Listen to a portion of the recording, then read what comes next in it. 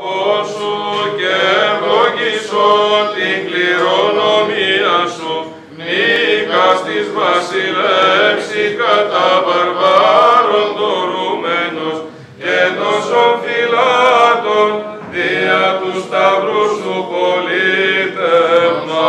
Των δωρεών αξίους ημάς πίσων Θεοτό